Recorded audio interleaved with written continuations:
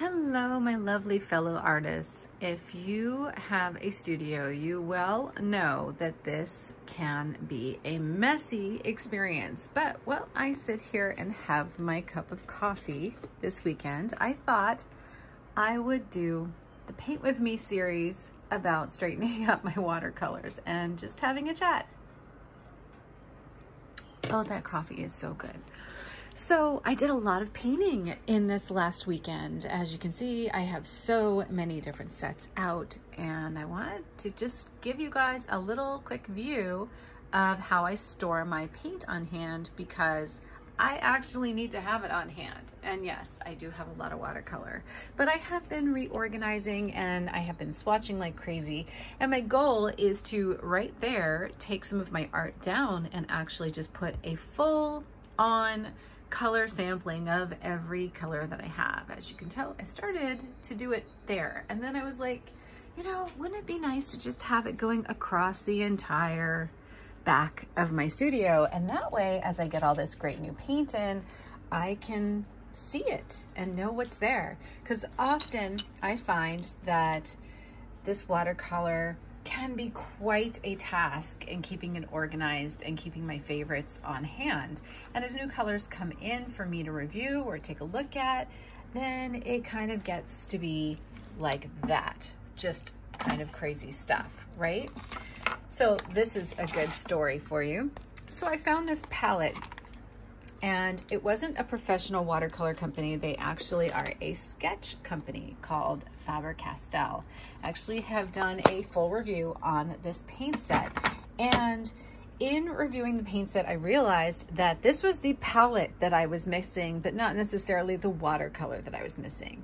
Now, for a beginner, yeah, the watercolor's fine. They did a good job on it. And actually, I did swatch it out and I played with it and it performed really well. I compared it to Schmincke, compared it to Sennelier.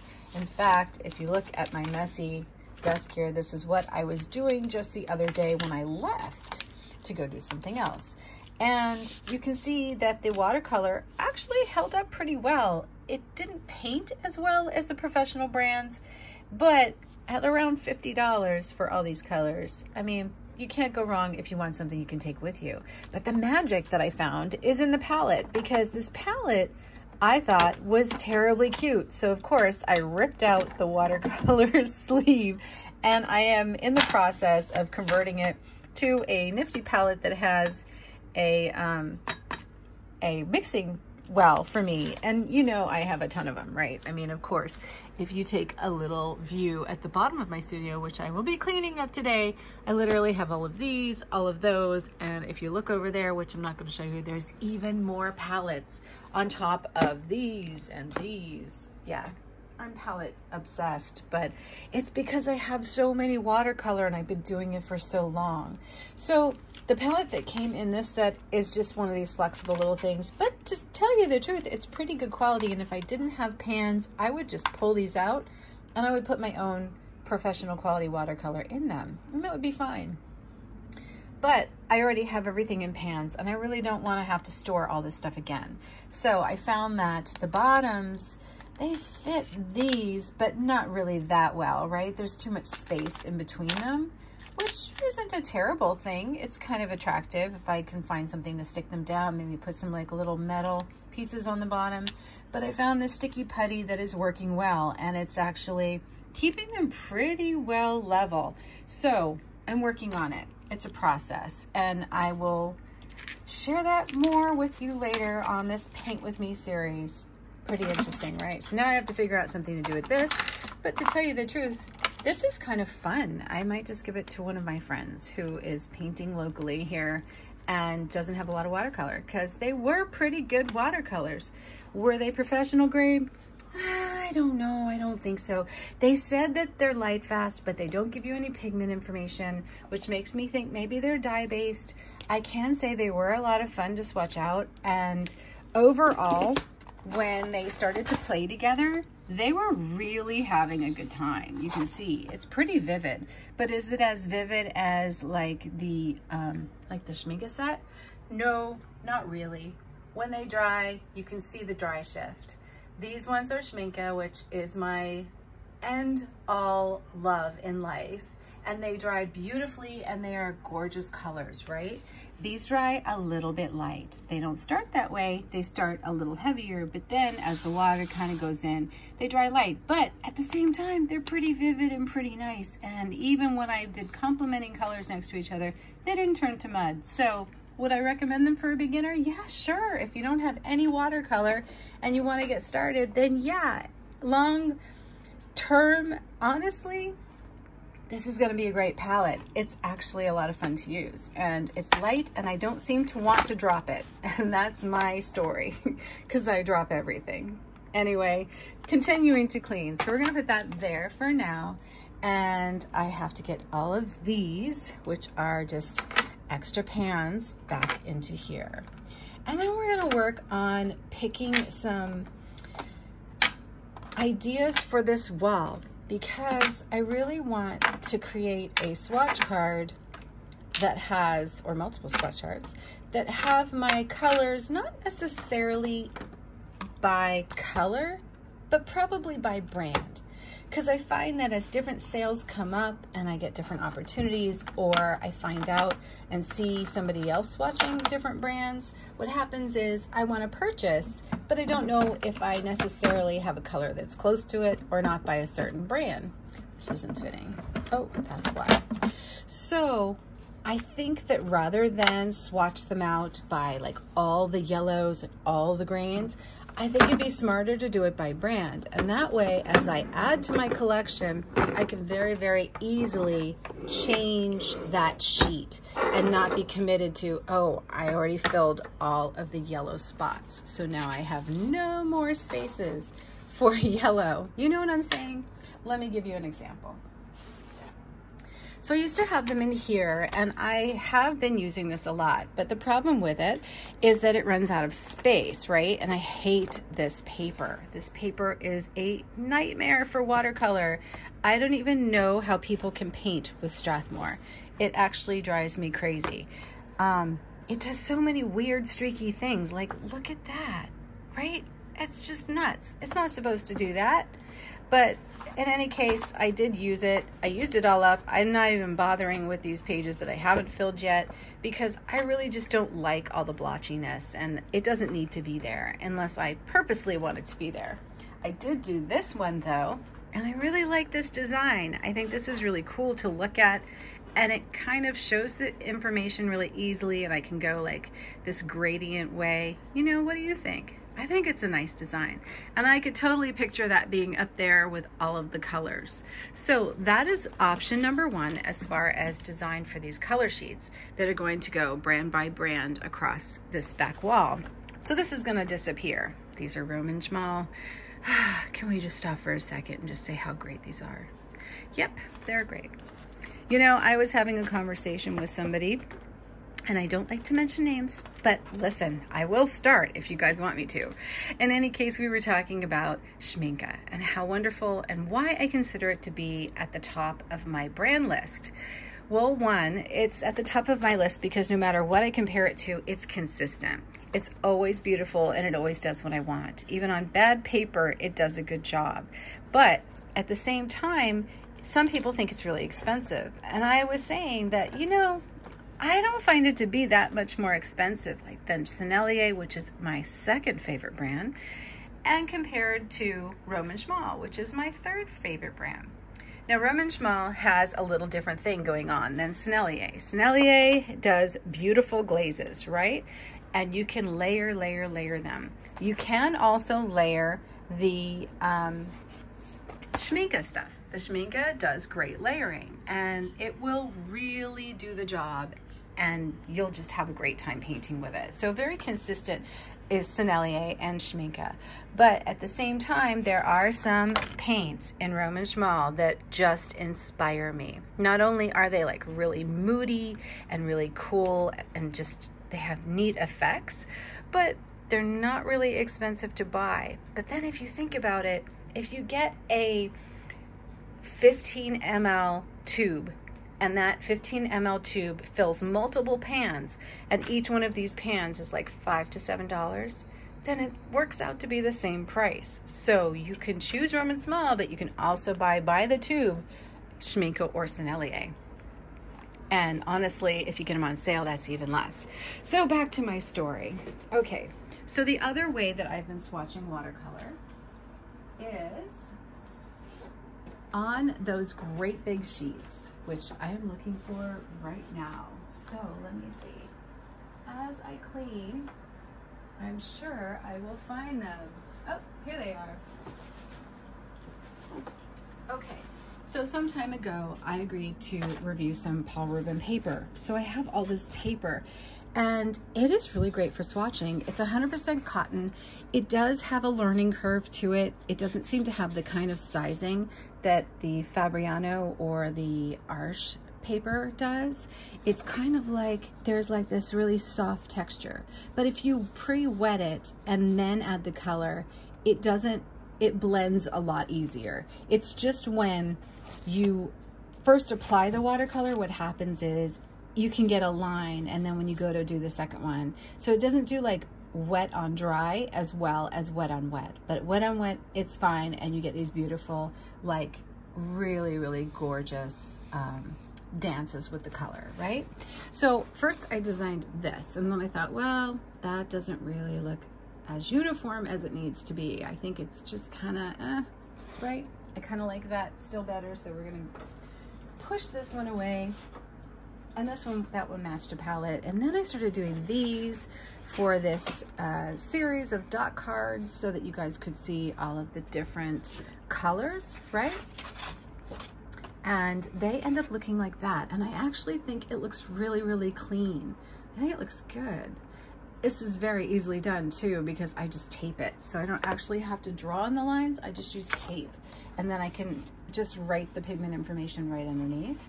So my question really to you, and by the way, there are videos on all of these colors and how I did these swatches, just in case you wanna see them. Okay, so do you like this version or this version? And that's my big question for today before I start cleaning everything up and getting all organized so that I can paint some swatches. Which version do you like better? Now, of course, this would be this size, and then they would be up there, right across the back of my studio. I kind of do love something about this, but I love the information about this. But the thing is, it's kind of the same. I guess if I wrote the information here on the lines without the black lines, do you think it would look as sharp and good, or do you think it would look more messy? I'm kind of thinking that, I mean, I can read them just like they are, but this looks very, very clear to me and it kind of stands out more. So I definitely am perplexed. I'm trying to decide if I should outline in black and put the the names on the bottom here, or if I should keep them not outlined and just write the names right on the, the, the swatch. All right, I need to know, so that's something that you guys can let me know in the comments. All right, so let's see. I'm still cleaning. It's kind of fun to clean with one hand, actually. So these ones are Daniel Smith dot cards. I actually got a dot card from them, and I thought, wouldn't it be fun to do large swatches instead of the small swatches? So I know that this one is already out. I'm getting ready to release the next one for you guys. So that will be the blues, which oh, they are gorgeous. Now, this isn't everything in the dot card. What I did is pick out the ones that I liked the best, and those are the ones I'm going to swatch for you because, I don't know, when something doesn't inspire me, I just don't really want to waste time with it. But that's just me. I figure there are tons. Ooh, I need to clean that up, don't I? There are tons and tons and tons of swatch videos out there where everybody's swatching everything. Now, this is a swatch card that was my original granulating palette granulating palette is pretty cool, actually. That one's coming along very, very well. And that one is here. However, I can say, just as an FYI, this thing is not for travel. In fact, I still have a lot to do with it because I almost drop it almost every single time I go to pick it up. And because I've got these A gallows in here still, they don't really fit so the lid doesn't shut so I really have to get these guys out of there even though I love these colors so today these are all sadly going to leave my granulating palette and go back into their own palette that holds them very nicely that a gallo sent me and they'll just have to remember that they're granulating because they just don't fit they don't fit in here, but everything else does and is doing well. As you can tell, this is just a painting palette, but it's huge. So what I did is I'm using this sticky putty and I'm fitting in all of my um, my full pans in here because I already put everything in pans. So if I were to pour it in these, they're great for extra ones coming in now, but it would mean that I'd have all of these pans to still store. So I tried to like do both. So far, I really love this palette. This one has a really nice arrangement. It's a triple decker. And like I said, as soon as I can get the, um, as soon as I can get it all fitting in here and the lid shutting, I'm good to go. But I think I think it's probably these here because they're they're like I put them in the wells. So I think what needs to happen is these need to go on this underneath sheet so that they fit there. And then these will all be just poured paint along this, the outsides. And then this will shut fine. But again, this is so heavy and you can't really bring it anywhere, even shut. And I almost drop it all the time and I'm not like finished securing everything in and picking out the arrangement. So this is kind of like the color key up to now, but it's gonna change. Okay, so that's the granulating palette. Let's put that together and it needs some work. Maybe I'll take the egg Gallo stuff out today, but I kind of want to swatch and do some work there. So that's the space for this. So this little guy can't stay there. It's got to be that. Voila. And then I have this side here. I don't think, but you know, once this shuts, this will fit. We'll just leave that there for now. Real world problems. Where do I put all the watercolor? Okay, so it's gonna stay there for now. The swatch cards Oh, yeah, here's something I wanted to show you. So I actually, like I don't have other things to do. This is the Mission Gold palette. Um, if anybody has a Mission Gold palette and you don't know how to swatch it out and you want, I don't know, like a photocopy of this before I painted it, I can take a picture of this and give it to you. I'll show you why. Mission Gold, and I have a video on this, so don't get scared, but this is my messy palette. I actually keep this paste of watercolor paper on it because it's still not dry. And as you can see, whoop, that's my messy palette right there. But it's got these really cool arrangements, but they're very, very hard to draw on a swatch card and to represent really, really easily so that you can just look at it. So what I did is I did this one and it fits pretty well and I'll tell you what this is. So the colors go around here. Just ignore that I have some in the center because I, I do it that way. So the colors go around here and so this would be the swatching of those colors, right? So we have one, two, three, four, five. One, two, three, four, five. And then you have the corner too. And so I split it because no matter what I could come up with on this painting or on this drawing, I messed it up all the time. And the reason why is because it's really quite complex. you know what I mean? Like this just didn't really look right and didn't represent well on the sheet. So I split it there and then I have the four in the center. So then it would be one, two, three, four, which to me makes more visual sense so that when I get here, I'm not gonna grab the wrong color.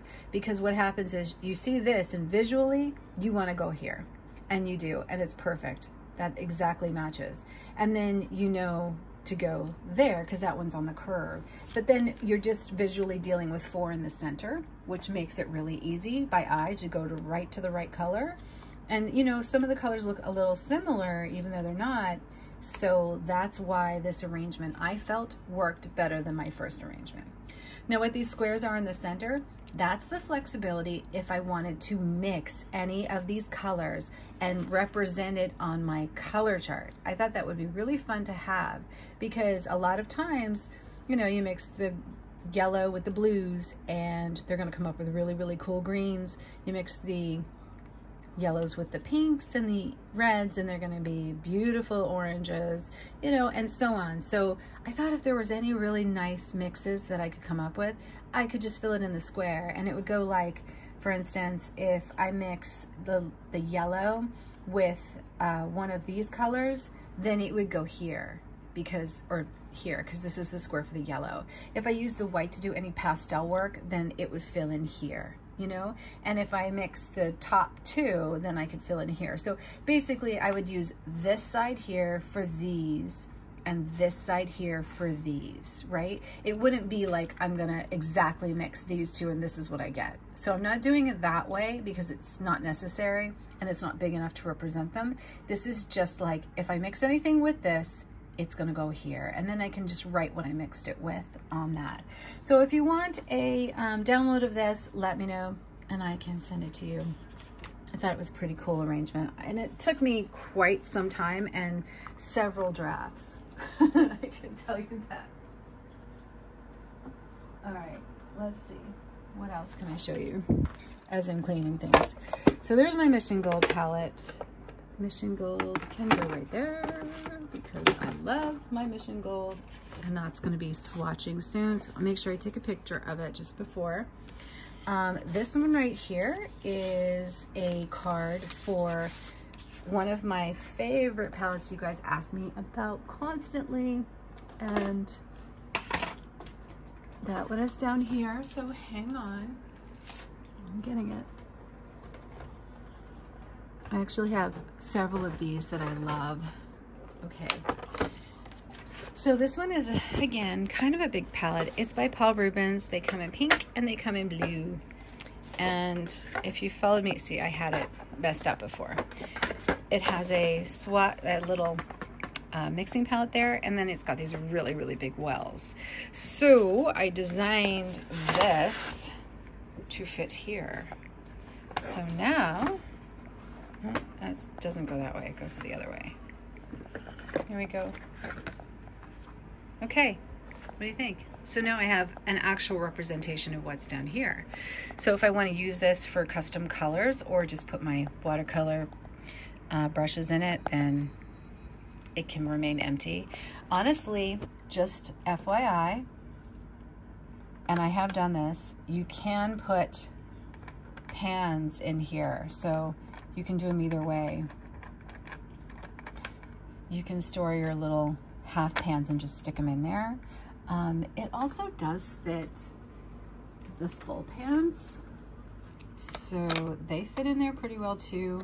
And if you did want to like not put watercolor in here, you could put two full pans in these little areas here um, that don't have watercolor in them or even like I'm just showing you so you know what options. And that's what I really love about this palette is that I love putting the colors right in.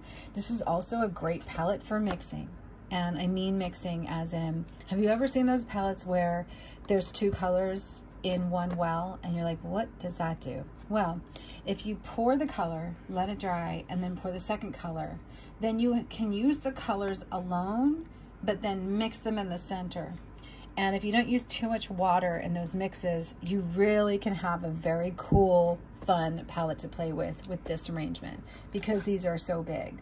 You could also do it with the Kuretake size things. They won't fit in this palette, but if you have extra Kuretake uh, pans, which if you need a resource for them, I do know somebody who makes them.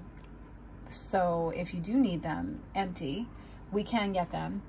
Uh, so maybe you have an empty box or something and you want to make your own palette, then you could do it with these. But if you can buy this, this is like $20 or something. This is such a cool palette and it's waterproof and I really love it. I actually have both. So I have two of them.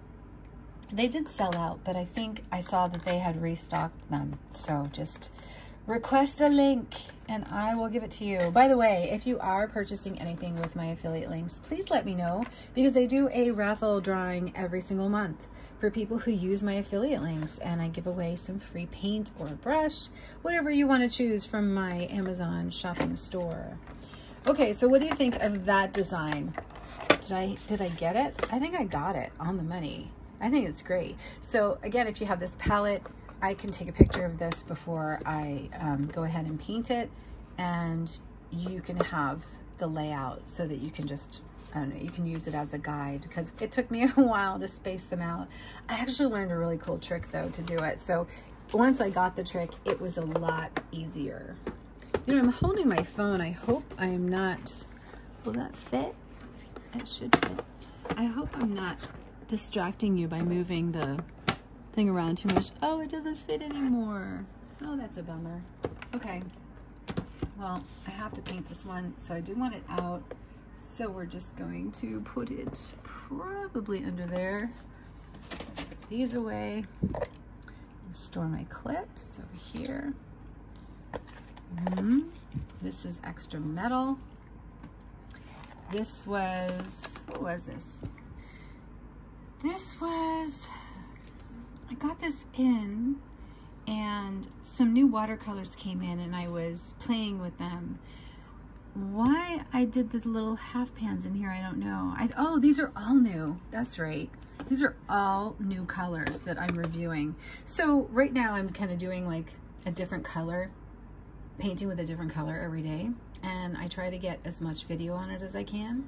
So those are in here. There are some gorgeous colors in here. I've already done a few of them. Some of them are in my granulating watercolor class, but yeah, these just came in and are ones that I'm not hugely acquainted with and I'm just getting to know. So I just keep them in their own little half pan set, which makes sense to me. I mean, if I put them in with the other guys, I'm ultimately gonna lose them. You know what I mean? So this is going to go on top of this and these can be stored right there. Perfect. Okay, what is this? This is a just, so I buy, oh yeah, this is this week's challenge. This was really fun to paint. So I buy big sheets of watercolor paper and I wanted to mention it to you because I make these accordion sketchbooks out of them. Right now, I was able to buy here in Canada Artistico 100% cotton watercolor paper, 30 inch sheets for $4 per sheet. And it is lovely, lovely paper. I actually adore it. So that means this sketchbook, which is quite large, has 30 pages that I can paint in it, right? 30 pages. And look at how brilliant. The colors on that Schmincke, by the way. Yeah, gorgeous, right? And actually, this is White Night. Isn't that pretty? So, and this is Roman Szmal. Gorgeous. See, they're so moody.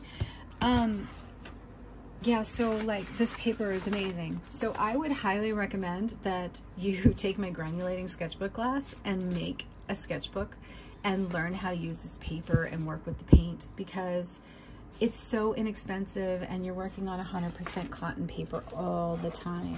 And it just is so much nicer to work with. You know what I mean? So hang on, I'm gonna hang this up so that I can use both hands for a sec. Here we go.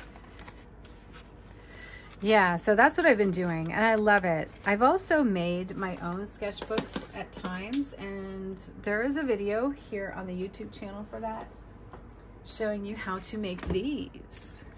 So this is actually done with just one of those sheets of paper. So like, you know, if you get a traditional Arches paper or um, Hahnemühle, they have like 12 sheets in them. It's 100% cotton, 12 sheets. They're usually like kind of expensive, right? But what this is, is this is the backboard to that pad and the front cover of that pad. And I made it into a cover for a sketchbook. And so I was able to make a 30 page, oh, it's like 12, 24, 36, 42, 42 page sketchbook out of 112 sheet of 9 by 12 inch paper. And so I literally can paint anything I want to on 100% cotton gorgeous paper. So it's just a matter of getting a 12 sheet on sale and converting it to these lovely sketchbooks, which I adore. And I actually find them really, really relaxing to make, you know? I think they're really relaxing to me. So I just do small sketches in them and test out watercolors that I like and get to know my colors. I usually always do it like a swatch page and then I will um, take the colors through and just kind of like evolve out some ideas uh, in the paintings and just have fun with them. You know, like this is actually the A Gallo uh, set that they sent me. They sent me a custom designed set of A Gallo paints with lots of granulation. And I started to swatch them out in just one painting so that I could just see them all play together. So I have to go back and finish that. Actually, probably will do that once I replace, I have to put them back in their little pan set because they just belong in that pan set.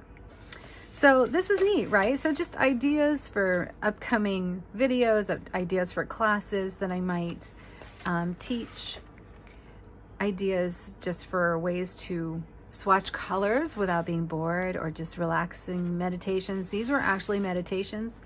So what I mean by meditations is I sit down with a pen and I just kind of draw and draw really interesting, unique pages and then paint them and it's the most relaxing thing because this is kind of tedious if you're trying to do it for painting, but it's very not tedious if you're doing it for just a relaxing morning with your coffee or a way to um, fall asleep at night.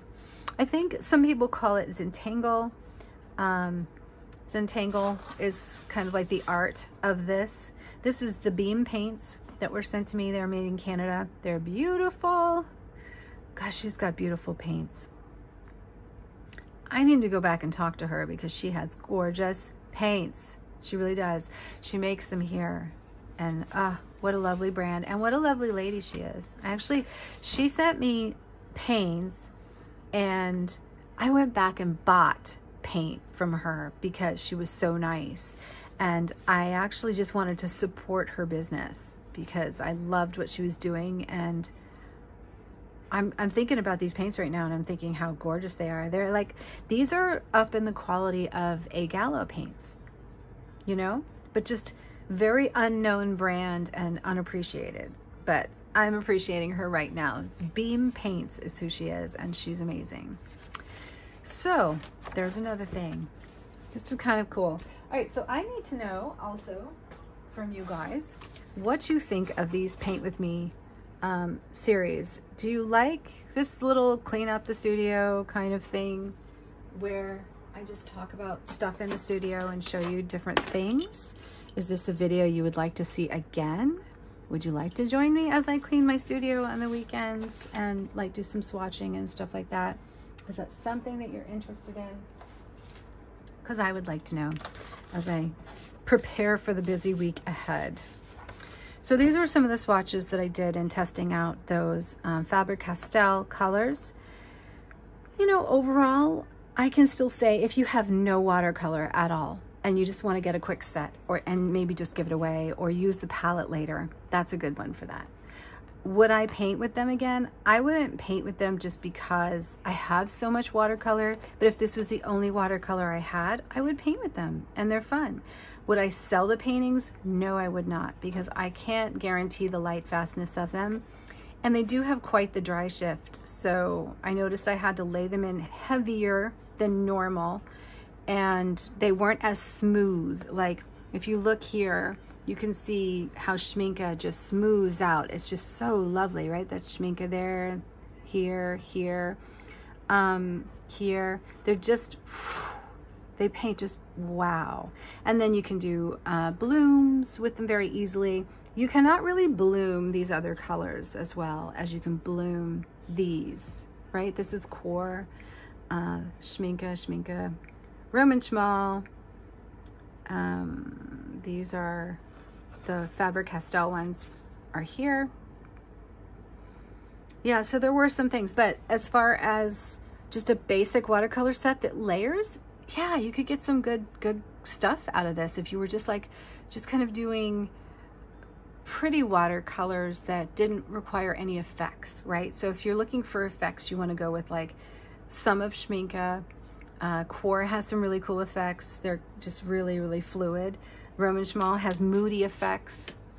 And um, Sennelier layers well. They're very smooth. Uh, the granulating, super granulating paints by Schmincke, they have the best effects overall like these granulating paints are to die for. I mean, I've never really painted with anything as good as these super granulating paints.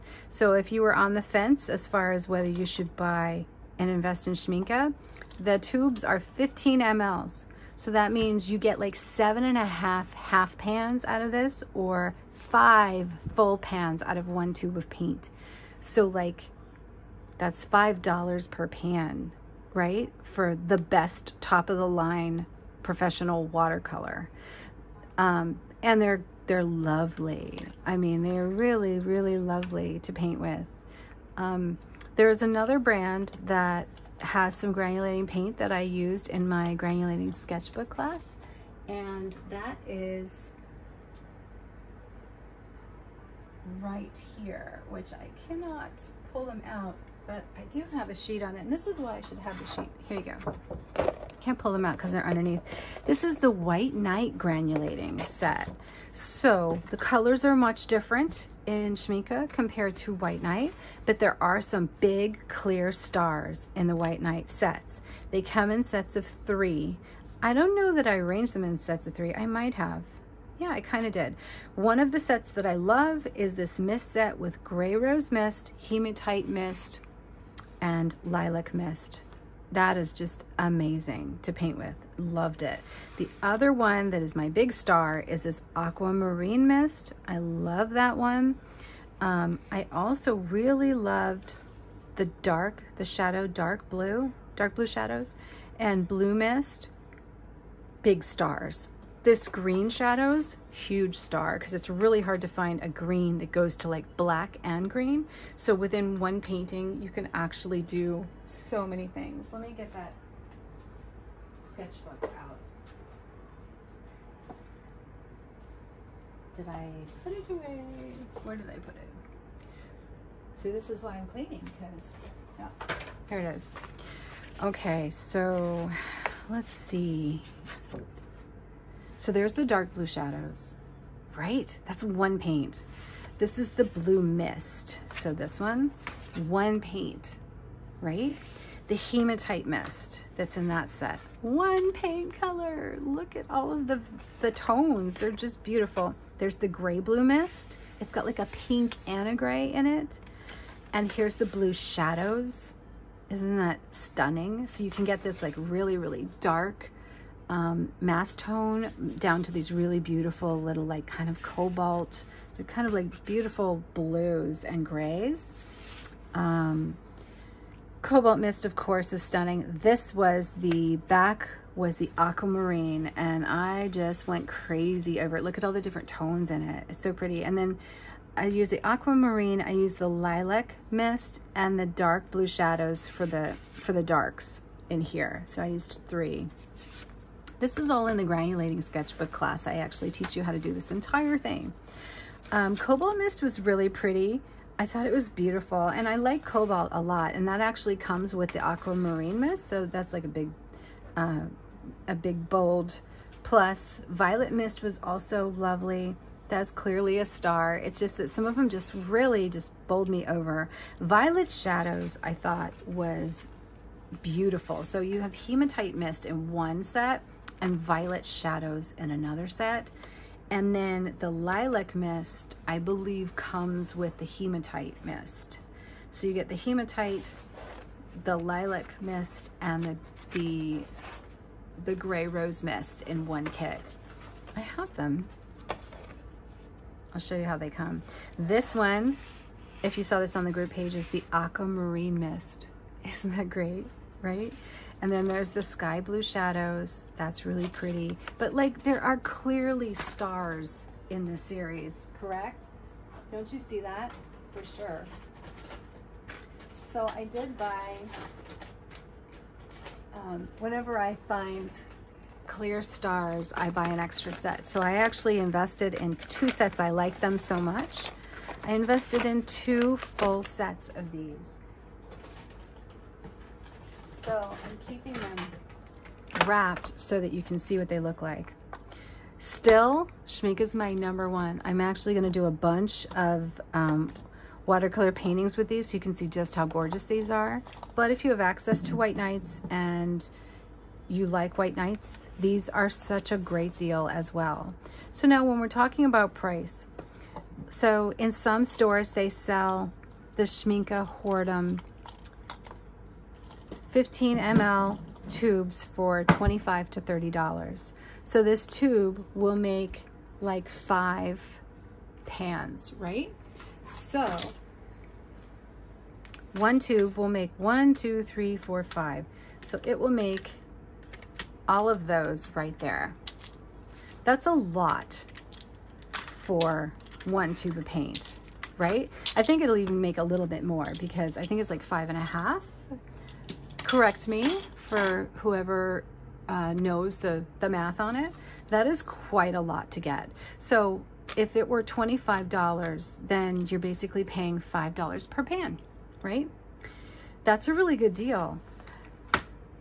These, you get three tubes for $20.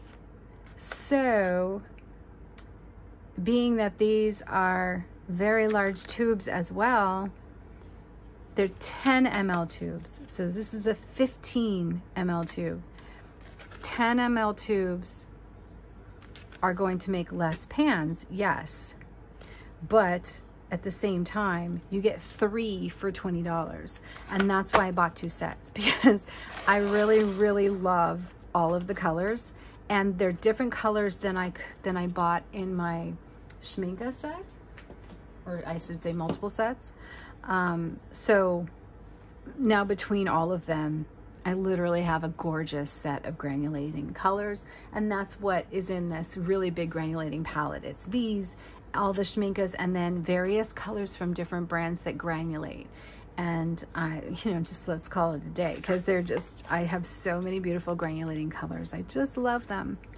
Um, so I'm thinking of doing a swatch sheet just dedicated just to the granulation, which technically is like this, but we're gonna do it in that format that's gonna hang on the wall.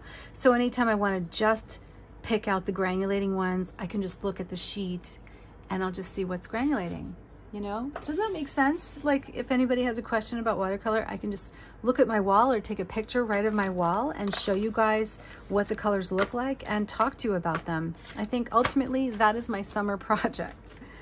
Okay, so put those away. So here I am. So now my sketchbooks, let's put the clip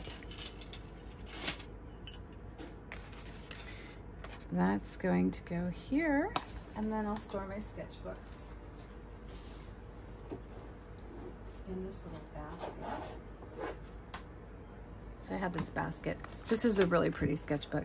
I actually painted this. This was a painting and I wrapped the painting around board, you know, the back of one of the uh, watercolor things.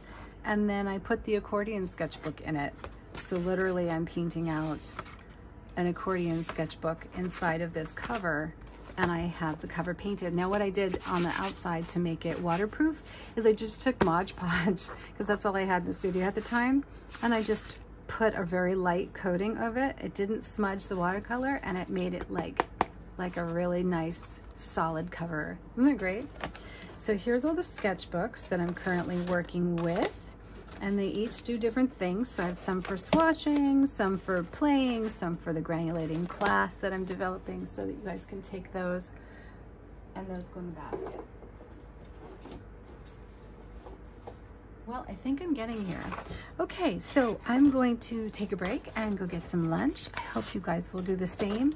Enjoy your cup of coffee and thanks for joining me. If you want to see more Paint With Me videos in this series, um, you know, I'll be doing everything from painting, painting all the swatches, to painting different things in my sketchbooks. Um, but basically it's just kind of like a little more relaxed blog, I guess, vlog. Uh, let me know and I will do more because I'm always in the studio. So happy to turn on the camera so you can see what I'm doing and look at the brushes and, and the different paints and hear my thoughts on them. Have a great day, you guys, and happy painting.